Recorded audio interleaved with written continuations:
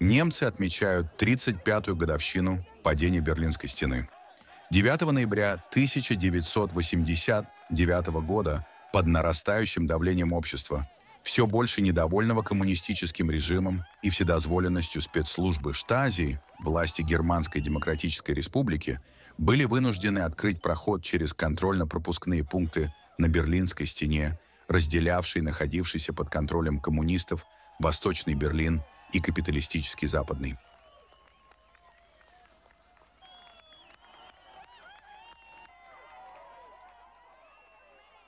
Торжественные мероприятия по случаю годовщины падения Берлинской стены прошли в столице Германии с участием президента ФРГ Франка Вальтера Штайнмайера, молодежи из ряда европейских стран, а также представителей международных движений и организаций, выступающих в защиту различных прав и свобод из Ирана, Беларуси, Грузии, Гонконга, из Кубы.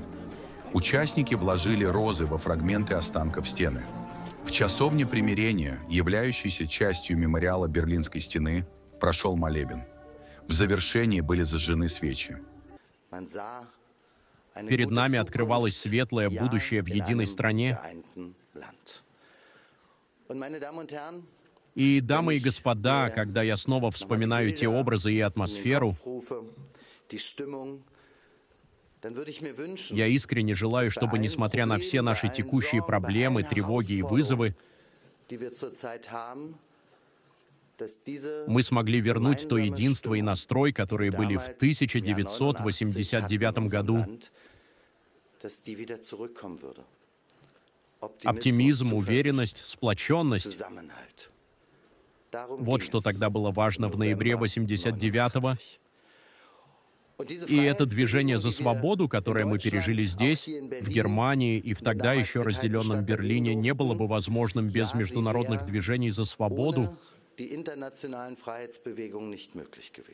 Берлинская стена была одним из самых смертоносных сооружений в истории человечества. В ночь на 13 августа 1961 года солдаты Национальной народной армии ГДР начали возводить стены с колючей проволокой отгораживая восточную часть Берлина, контролируемую просоветским режимом. Практически за ночь между двумя германскими государствами возникла непреодолимая граница длиной 156 километров.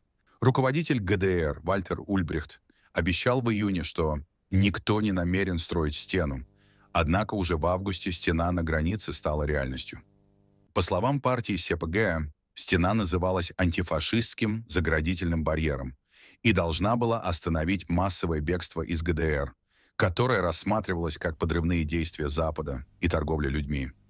В архивах Министерства государственной безопасности ГДР Штази был найден письменный приказ, датированный 1 октября 1973 года, предписывающий стрелять на поражение по всем беглецам из ГДР, без исключения, включая детей. Всего за время существования стены при попытке бежать были убиты 245 человек, а через стену или по вырытым под ней вручную тоннелям удалось бежать пяти тысячам восточных немцев. Каждый десятый беглец был солдатом, охранявшим границу между Востоком и Западом. Еще несколько сотен тысяч человек были посажены в тюрьмы за попытку побега на Запад или даже просто по подозрению, что человек хочет сбежать. Среди критиков ГДР и оппозиционеров, арестованных Штази, самым молодым был Тим Эйзенлор.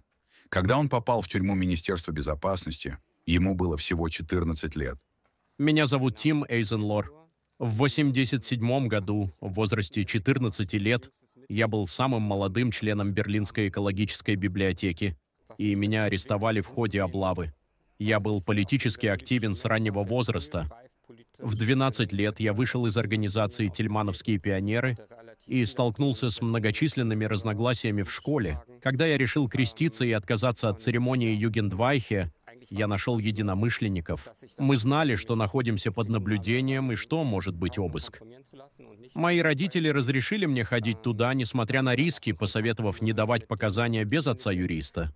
Мы не ожидали, что это произойдет именно тогда.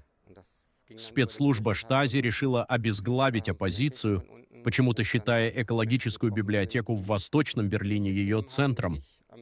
Но они не смогли этого добиться. Мы не показывали страха, старались выглядеть уверенными, чтобы дать понять, что именно они нарушают закон. Теперь Бундестаг собирается принять закон о жертвах СЕПГ. Так называлась правящая в ГДР Компартия. Я настоятельно призываю Бундестаг принять этот закон, потому что у нас фактически есть консенсус.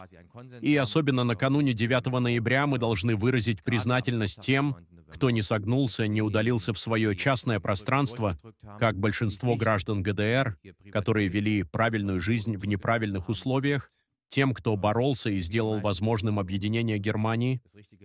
Даже спустя десятилетия после демонтажа границы, антифашистский защитный барьер — так Берлинскую стену лицемерно называли в советских и восточно-германских документах, остается символом жесткого разделения Востока и Запада, который длился 28 лет.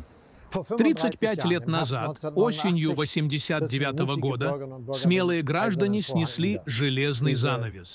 Эту бесчеловечную границу, которая десятилетиями разделяла Европу на восток и запад. Я вспоминаю об этом здесь, в самом сердце Будапешта. Венгрия стала предвестником великих перемен. Уже весной 89 года венгры осмелились перерезать колючую проволоку и разобрать западные пограничные сооружения.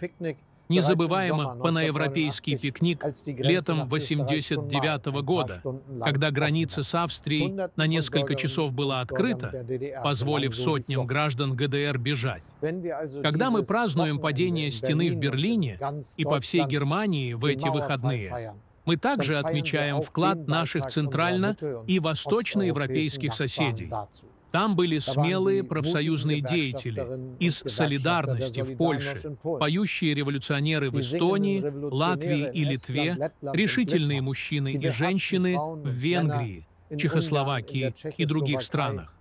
И, конечно, протестующие по понедельникам в Лейпциге и других городах ГДР, которые имели мужество кричать «Мы — народ», а позже «Мы — единый народ». Победа свободы осенью 89 года была победой всей Европы. Падение Берлинской стены 35 лет назад стало счастливым кульминацией общеевропейского процесса, счастливым днем, за который мы, немцы, благодарны до сих пор. Своей революцией 35 лет назад мирные революционеры достигли чего-то великого — объединенной, свободной и демократической Европы. Сейчас, когда мировая политическая обстановка столь напряженная, будь то Украина или Ближний Восток, вопросы климата или экономика, нам, европейцам, как никогда важно держаться вместе. Именно поэтому мы используем встречу Европейского политического сообщества и глав государств и правительств ЕС здесь, в Будапеште, для укрепления этого единства. Наша общая история осенью 1989 года показывает, как мы можем достигать своих целей стоя вместе за мир и свободу, за безопасность и процветание, за верховенство права и демократию. Мы, европейцы, можем считать себя счастливыми, что сегодня разделяем эти ценности. Ведь очевидно, что это не само собой разумеющееся если посмотреть на нашу историю и мир вокруг. Поэтому послание революции свободы 89 -го года актуально как никогда. Смелость, уверенность и сплоченность окупаются. Противостоянием друг другу мы ничего не достигнем, только вместе мы сильны. Через 35 лет после падения стены в Берлине мало что осталось от сооружения, некогда изменившего облик города. К наиболее известным памятным местам относятся разрисованные части стены в галерее East мемориал на улице Бернауэр и бывший контрольно-пропускной пункт Чекпоинт Чарли. В течение нескольких месяцев после открытия границы около 160 километров укреплений было поэтапно разобрано. Мы видим огромный интерес к Берлинской стене, особенно к тем местам, где она сохранилась. И люди стремятся увидеть ее и узнать, что значит жить в разделенном Берлине. Восточная галерея ежегодно посещают более 4 миллионов человек со всего мира. Мы проводим небольшие художественные мероприятия с художниками галереи летом и получили положительный отклик. Мне кажется, очень важно помнить революцию, ведь это показало, что мирным путем можно разрушить границу, преодолеть стену и свергнуть диктатуру. Но для этого нужно, чтобы многие люди объединились и вышли на улицы, хотя политические процессы тоже играют важную роль. Важно, чтобы люди интересовались, были активными и участвовали в жизни общества. Особенно молодежи мы стараемся передать мысль. Участвуйте, выражайте свое мнение, говорите о том, что важно для вас. Даже если это вызывает споры, это важно. Так мы можем сохранить демократию, если будем все активны. Меньше чем через год после падения Берлинской стены ГДР и ФРГ объединились. В ходе переговоров западным союзникам удалось буквально выкупить Восточную Германию у доживавшего последние месяцы Советского Союза. За вывод войск СССР тогда получил 300 миллионов марок и неназванную сумму для поддержки одрехлевшей из-за низких цен на нефть советской экономики. 3 октября 1990 года ГДР, созданная в 1949 году по приказу Сталина, перестала существовать.